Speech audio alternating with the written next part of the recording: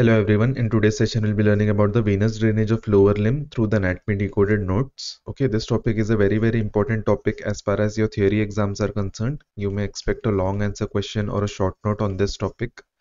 Okay, there is a very important applied anatomy related to it called as varicose veins. Okay, so to understand what is varicose vein, understanding the anatomy of the venous drainage of lower limb is very important.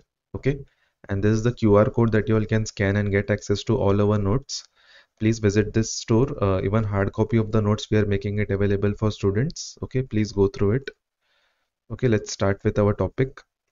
So the first heading is mentioned as overview. So here we can see the venous blood of the lower limb is drained against gravity. Okay, so there is a number of factors which help and facilitate its drainage. Okay, so what are the various factors which help in uh, returning the blood towards the heart?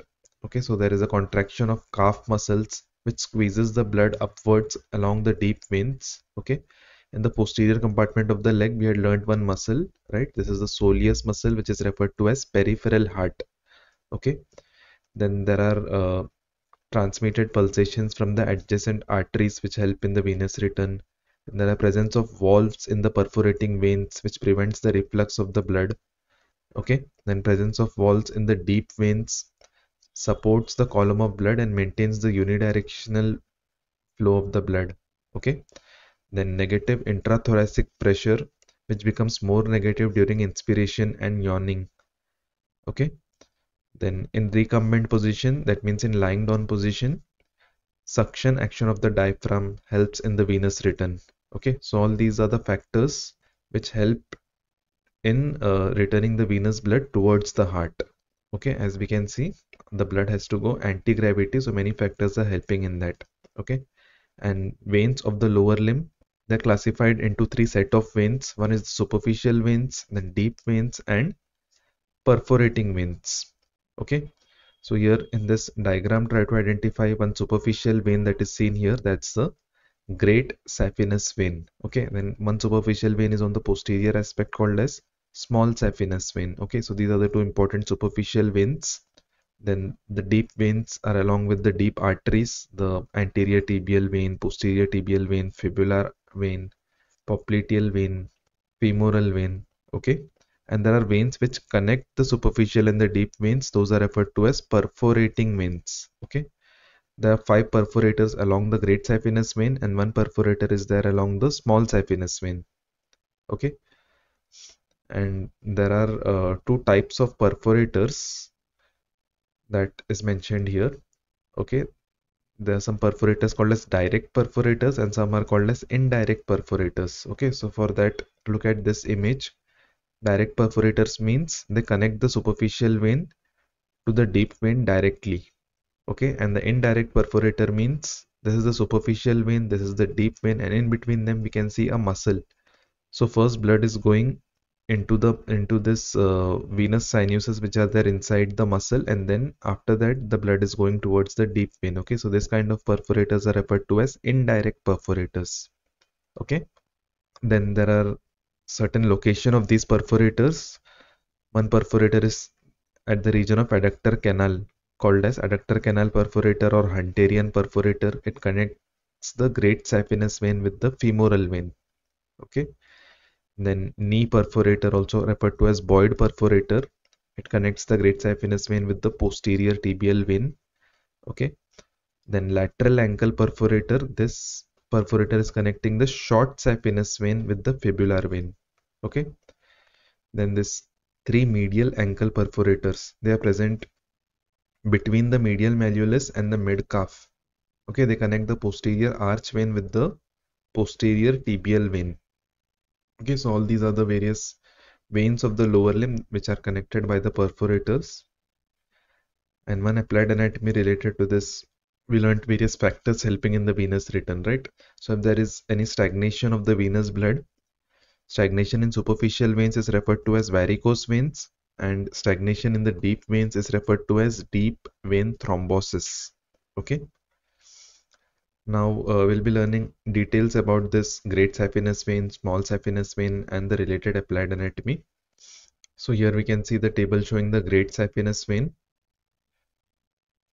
So great saphenous vein uh, if we see the word saphenous the word saphenous means easily seen. Okay so the great saphenous vein lies in the superficial fascia of the lower limb and it is easily seen. It is the longest vein of the body and it represents the preaxial vein of the lower limb preaxial vein means the vein which is towards the medial aspect okay from the great toe side the vein which is there that's the preaxial vein from the little toe side the vein which is there that is the postaxial vein the small saphenous vein is referred to as the postaxial vein okay so how is the formation of the great saphenous vein? It is formed at the dorsum of the foot by the union of the medial end of dorsal venous arch and the medial marginal vein of the foot.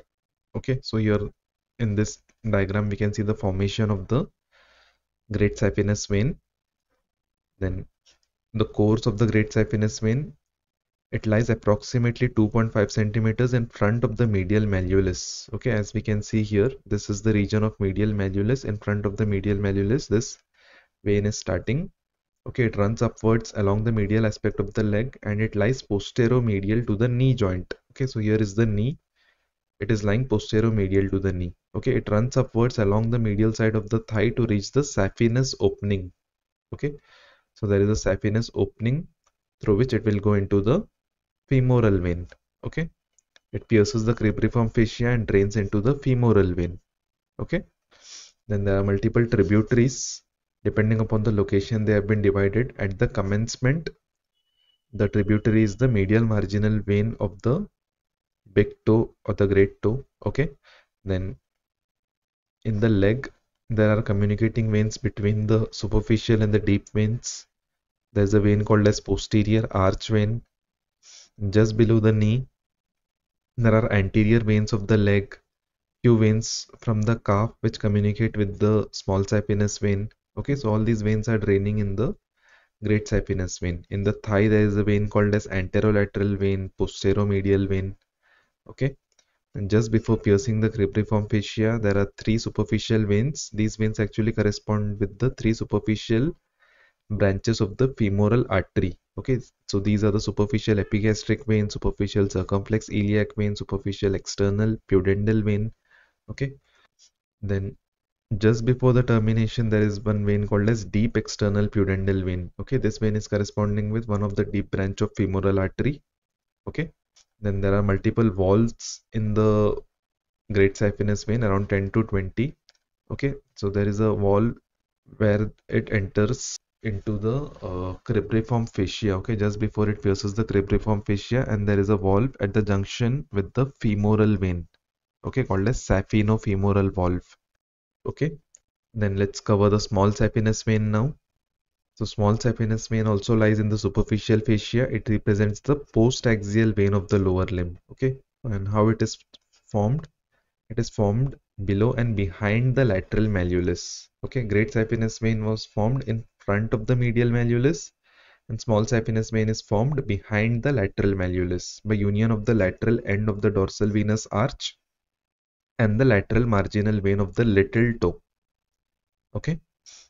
Then course of the small saphenous vein it runs upwards along the lateral edge of tendo calcaneus and is accompanied by a nerve the sural nerve which is present on its lateral side okay so here we can see the posterior aspect of the leg.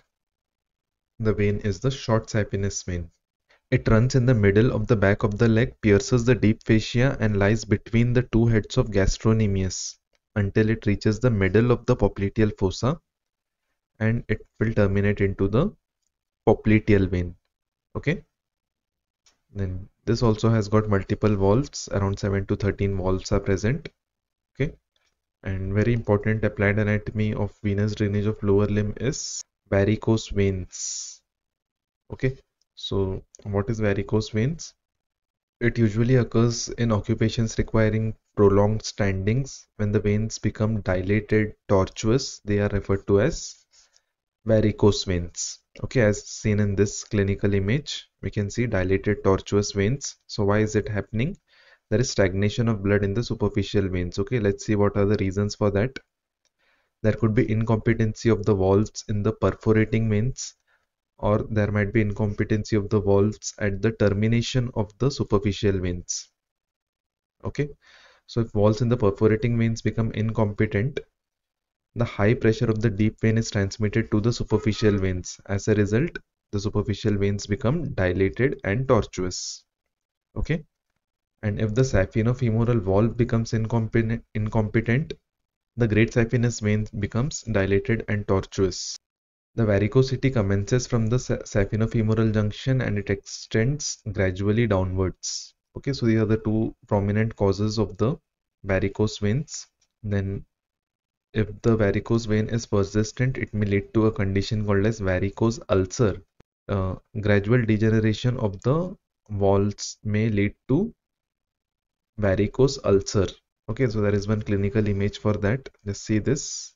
Okay, varicose ulcer will look like this okay so the wall of the vein will become degenerated and will open on the surface then the multiple tests that can be performed to identify the sites of the incompetent valves okay? So one test is called as Trendelenburg's test.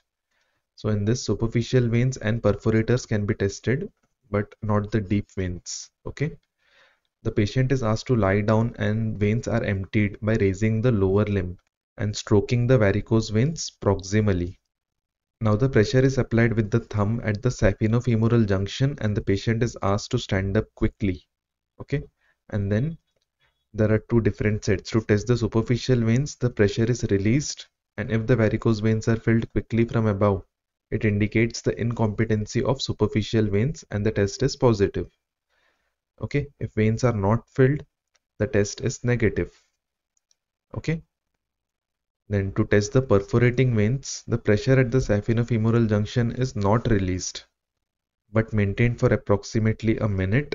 Gradual filling of the superficial vein indicates the incompetency of valves of the perforating veins allowing blood from deep to the superficial veins and the test is positive. Okay so for testing the superficial veins, the pressure has to be released and for testing the perforating veins, the pressure is not released. Okay, so that is the important difference that you need to remember. Then there is a test called as Perthes test or uh, tourniquet test. This is done for the deep veins. Okay, because deep veins testing was not done here in the Trendelenburg's test, right? In Trendelenburg test, superficial and perforators were tested. Okay. So here a tourniquet is tied around the upper part of the thigh, tight enough to occlude the saphenous vein but not the femoral vein. Okay, the patient is asked to do a gentle exercise, walk quickly for a while with tourniquet in place. Okay, if the perforating veins and deep veins are normal, the varicose veins will shrink. Okay, and if they are blocked, the varicose veins become more distended. So that is how the incompetence of the deep vein is tested. Okay. Then great saphenous vein is the preferred vein for venesection. Venesection means a cannula can be injected into the vein for uh, giving intravenous fluids. Okay, so in emergency situation when superficial veins in other parts of the body are collapsed, invisible. Okay, so the great saphenous vein is preferred in that condition. Okay, then great saphenous vein can be taken as a graft in coronary bypass surgery to relieve the ischemia of the heart. Then Deep vein thrombosis. What is this? The veins from the muscles draining into the deep veins have valves which direct the blood flow to the heart except those in the soleus which are arranged in the form of venous sinuses. Okay, the blood flow is sluggish in the soleal sinuses particularly when the muscles are put to rest. For example, prolonged bed rest in some patients uh, is required after surgery. Okay, they may develop deep venous thrombosis. Okay, the thrombus may cause life-threatening complica complication like uh, pulmonary thromboembolism. Okay, the thrombus which is present, it can go and lodge anywhere else in the body. Okay, one important complication is this pulmonary embolism. That means the thrombus gets obstructed in the lungs. Okay, so all these are the various applied anatomy in relation to the venous drainage of lower limb. The most important of which is the varicose veins okay. So make sure you all access these notes from the QR code which is given or else you can also find the link in the description box. Okay. Thank you.